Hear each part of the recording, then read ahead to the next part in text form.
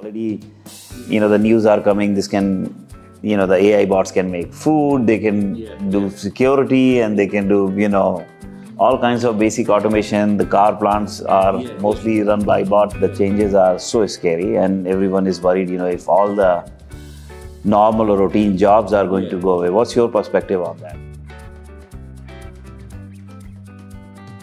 This tech is here to stay and it's only going to kind of get better and more sophisticated in what it can do. AI won't replace your job, but someone who uses AI will. I think people need to be still very kind of driven and focused on, you know, their role in the world, what they're going to kind of contribute and what kind of ultimately makes them happy and what they want to kind of spend their, their time doing.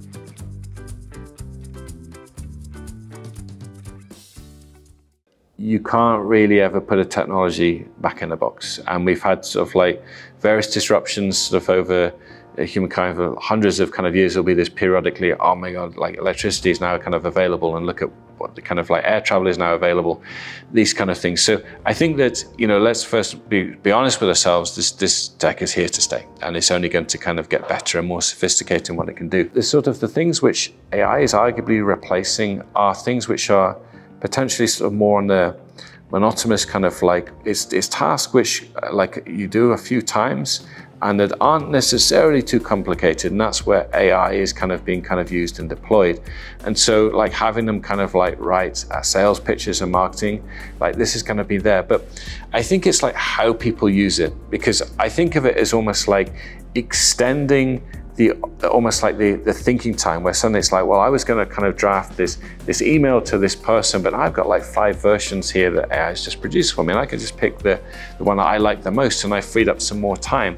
So I think it gives you back the most important thing in life, which is kind of like time and like what you actually kind of do with it. But I think that obviously nothing is ever perfect in terms of like its rollout where society as a whole is kind of ready. Suddenly these things are, upon us and we can use them. And it's like well how should they be used and how are they going to kind of roll out? And it's it's not a, a nice gradual process. We we've got to, we're in this kind of disruptive time. So i think that it's it's hard to know exactly where these things will take us because each week you switch on the news and there'll be like some new kind of ai innovation. But i, I can totally understand like where there is that kind of cause for concern about like wh- how people are people going to get displaced and how people get kind of like reskilled over time. But um, yeah, I just I don't have all the answers, Yeah. but it's uh, I think that's time will tell where it goes. But I, I, I do believe, you know, uh, I think it's futile to stop the progress. Yeah, you know, the same argument as you said when the electricity came, car came, yeah.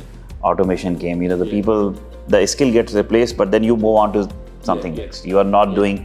Um, I also remember, you know, one of my first job was automating a steel plant. Yeah, yeah. and the uh, the entire fear was there. But the most important part was you know when everything was being done manually there were accidents there were you know lives were being Yeah, lost. but once you do the automation the same people they moved behind the computer screens. And now they were doing the same job but they were not risking their their life over there. So it took couple years for that transition but i think it was a better world. You also work with a lot of universities academic as yeah, part of our you know industry faculty Yeah. relationship. And at the same point of time you have also undergrad Yes, interns yeah. that you are currently working with. Yeah.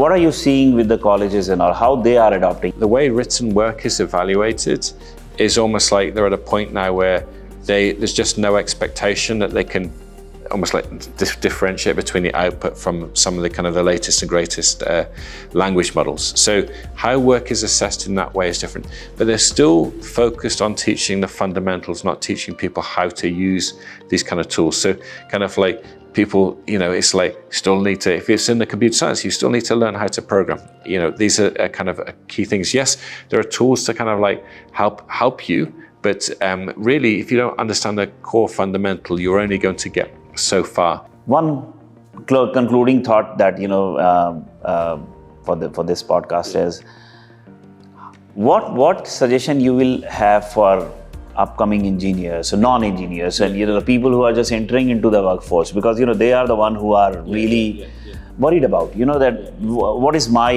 Yeah, yeah. role in this whole whole uh, uh, revolution that is happening on ai A few a few thoughts. So um, one is kind of an obvious one is like really embrace the technology. Um, and I think there's there's this sort of phrase that someone saying like uh, AI won't replace your job, but someone who uses AI will.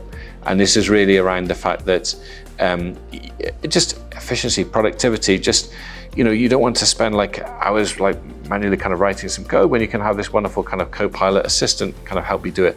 But I think if you're almost at the same time, you're a kind of a graduate kind of coming through, is really is like know your fundamentals and being able to kind of understand how these kind of tools are, are working and how you can, where they will work well, where they will kind of fall short, um, is kind of like a, another sort of key thing. If you have a, an idea where it's like this, this is something which is going to benefit society, it's going to save these people some time or money, whatever it is, I'm going to build this. Having that kind of conviction about something which is going to you know, make the, the world a better place, more interesting, that you can kind of work on is kind of key. Don't be sort of expecting this sort of like the AI systems are going to somehow tell you what to do. I think people need to be still very kind of driven and focused on you know, their role in the world, what they're going to kind of contribute and what kind of ultimately makes them happy and what they want to kind of spend their, their time doing.